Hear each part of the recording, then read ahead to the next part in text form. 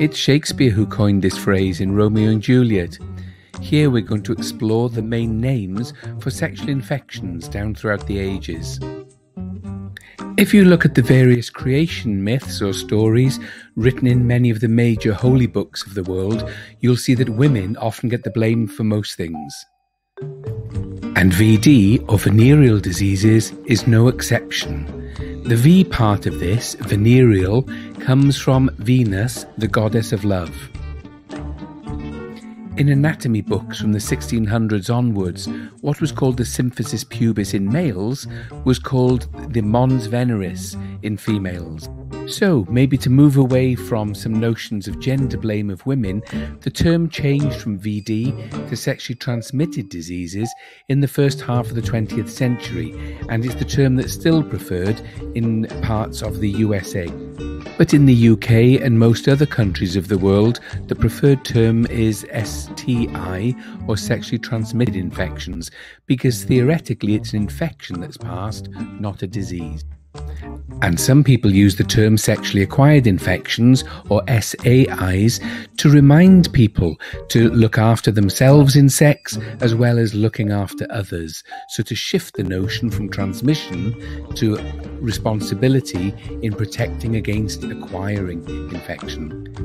But we must always be aware that there are many people the world over who are not able to protect themselves against acquiring infections.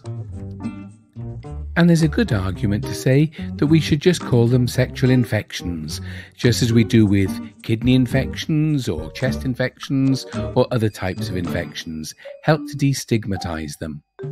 A common error I see in many students' work is when they put an apostrophe in. That makes it the genitive case rather than simply just the plural.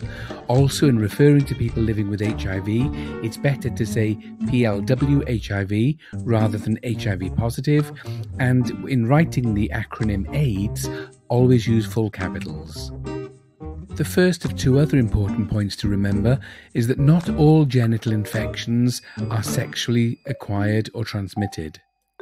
The second important point to remember is that not all sexual infections are genital. Remember, you can get certain infections down the throat or up the bum.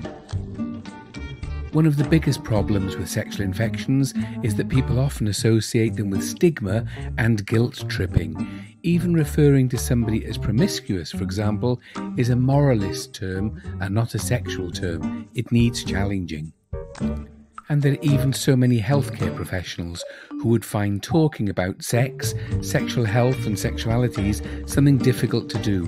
Therefore, there's a lot of work we can do in encouraging people to talk more about sexual health and their well being. Even using the term unprotected sex can be misleading and sometimes even judgmental, so it's better to use the phrase condomless sex. And that goes to show clever dicks do it in a condom. Thanks so much for listening. I hope you've enjoyed this. Feel free to contact me on Twitter.